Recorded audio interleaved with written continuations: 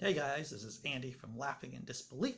Before talking about the book of Exodus, I'm going to mention that Thomas Westbrook of the Holy Kool Aid YouTube channel stopped by the Naked Diner podcast. We had a great chat about the atheist YouTube convention that he was part of, the Faithless Forum. We also talked about how life could have emerged from the basic chemistry of early Earth, and of course, those pesky, pesky, pedophile Catholic priests. I'm tossing the link below in the description. Before reading chapters 1 and 2 in the book of Exodus, let's talk about the book in its entirety. Jazz hands. It's considered to be the most important book of the Old Testament. God reveals himself, he sets his people free, laws are given, and the dead kids. We can't forget about the dead kids, right? The name Exodus comes from the Latinized abbreviation of the Greek title Exit from Egypt. I'm not going to try to pronounce the Latin or the Greek. There are more than a few Christians out there who like their Bible in the original English, and I cater to them. Thank you very much. We need to talk about building pyramids and Jews, because there's a lot of that going on in the book of Exodus. A central point of Exodus is that the Jews are slaves and building pyramids for the Pharaoh. And of course, this is nonsense. I'm going to quote from Brian Dunning's article of Skeptoid, you know him. Did Jewish slaves build the pyramids? I'm going to use my quotation voice. Their age, i.e., the pyramids, is well established. The bulk of the Giza necropolis, consisting of such famous landmarks as the Great Pyramid of Cheops, Cheops, Cheops, and the Sphinx, are among Egypt's oldest large pyramids and were completed around 2540 BCE. Most of Egypt's large pyramids were built over a 900 year period from about 2650 BCE to about 1750 BCE. Now the question is, when did Jews arrive in Egypt? That's something we kind of have a good guess about. It wasn't until almost 2,000 years after the Great Pyramid received its capstone that the earliest known record shows evidence of Jews in Egypt, and they were neither Hebrews nor Israelites. They were a garrison of soldiers from the Persian Empire stationed in Elephantine, an island in the Nile, beginning about 650 BCE. They fought alongside the Pharaoh's soldiers in the Nubian campaign and later became the principal trade portal between Egypt and Nubia. Their history is known from the Elephantine papyri, papyri discovered in 1903, which are in Aramaic, not Hebrew, and their religious beliefs appear to have been a mixture of Judaism and pagan polytheism. Archival records recovered include proof that they observed Shabbat and Passover, and also records of interfaith marriages. And perhaps the strangest reversal from pop pseudo history, the papyri papyri include evidence that at least some of the Jewish settlers in Elephantine owned Egyptian slaves. So the pyramids couldn't have been built by Jews because there were no Jews in Egypt at the time of the building of the pyramids. You should check out the rest of the article. I'm putting the link also below in the description down there. But don't look because we're going to get into Exodus chapters 1 right now. The Israelites oppressed. These are the names of the sons of Israel who went to Egypt with Jacob, each with his family Reuben, Simeon, Levi, and Judah, Issachar, Zebulun, and Benjamin, Dan, and Naphtali, Gad, and Asher. The descendants of Jacob numbered 70 in all. Joseph was already in Egypt. We know that from last time, right? You remember reading through the book of Genesis with me? That was fun. Now Joseph and his brothers and all that generation died, but the Israelites were exceedingly fruitful. They multiplied greatly, increased in numbers, and became so numerous that the land was filled with them. Then a new king, to whom Joseph meant nothing, came to power in Egypt. Look, he said to his people, the Israelites have become far too numerous for us.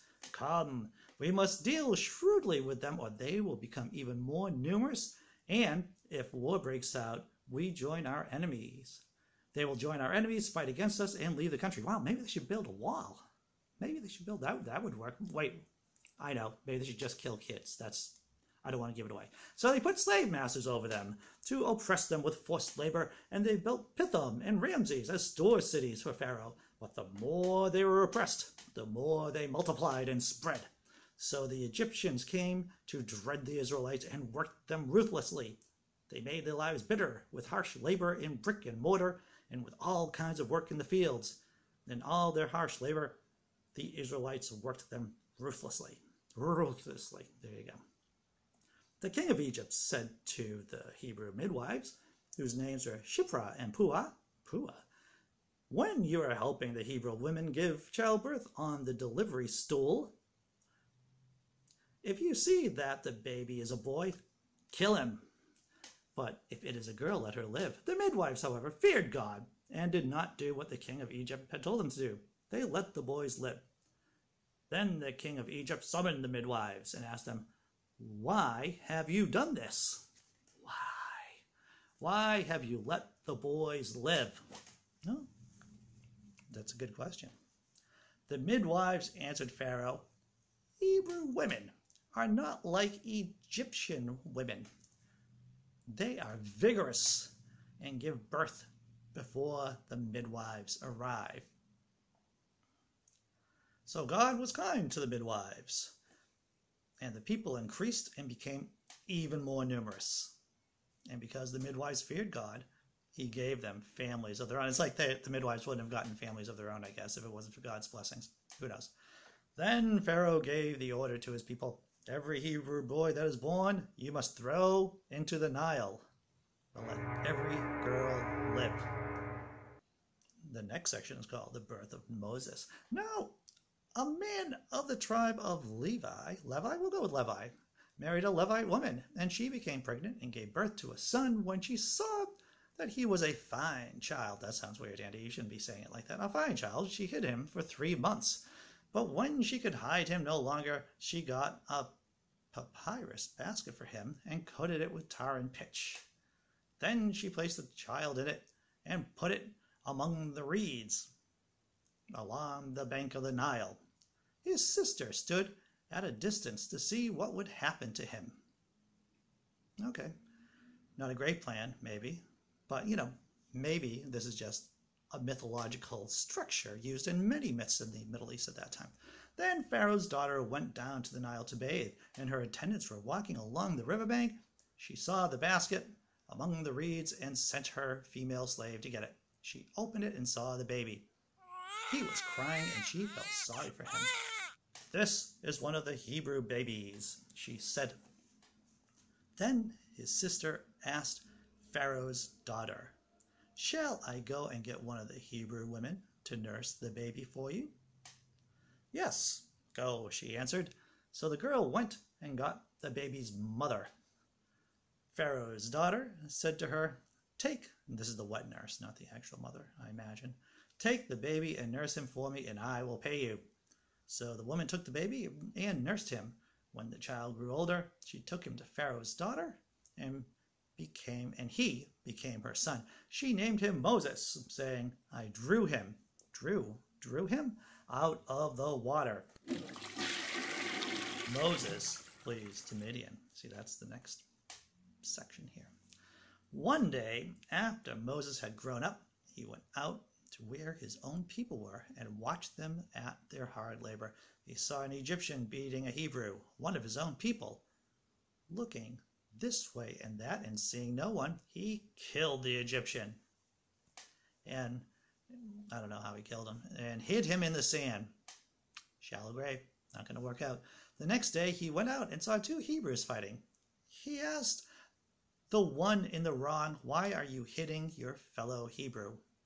Maybe he was hitting him with his own fist, I don't know. The man said, Who made you ruler and judge over us? Are you thinking of killing me as you killed the Egyptian?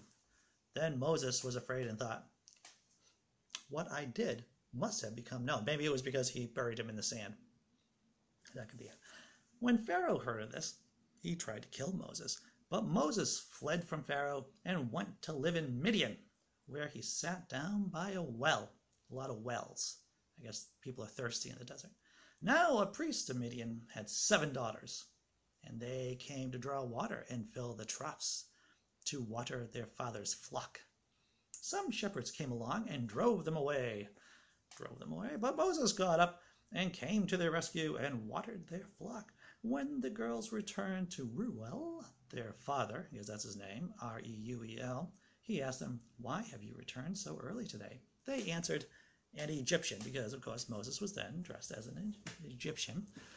An Egyptian rescued us from the shepherds. He even drew water for us and watered the flock. And where is he? Reuel asked. His daughters, why did you leave him? Invite him to have something to eat.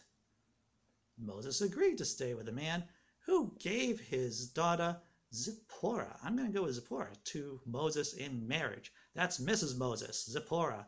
Zipporah gave birth to a son, and Moses named him Gershom, saying, I have become a foreigner in a foreign land. During that long period, the king of Egypt died. The Israelites groaned in their slavery and cried out and their cry for help because of their slavery went up to God. God heard their groaning and he remembered his covenant with Abraham because he forgot these things. He forgot the covenant, right? He remembered his covenant with Abraham, with Isaac, and Jacob. So God looked on the Israelites and was concerned about them. And that's the end of Exodus chapter 2. What could you say about chapters 1 and 2 in the book of Exodus? God didn't care enough to do anything about all those Hebrew babies that got killed. That's what, you know, the Hebrew boys, right? Because a whole gaggle of them died. I mean, couldn't God have just said, stop doing that from the sky in his dad voice and all the craziness stuff? I think so. It sounds like we're traveling on the road of either God can prevent evil and chooses not to, or God can't prevent evil in the first place. And Christians may say, he he does make all the you know make it stop with the killing of the Egyptian babies later on in Exodus you know, that makes it okay, right? And, and I, as a humanist, uh, I'm left shrugging their shoulders. And I think any humanist would be thinking, well, that's a that's a pretty crappy plan. If that's the plan, that's the plan. And that's crappy. Thanks for watching Upvote if you want to. Subscribe if you wish. Thanks for watching. Godless bless.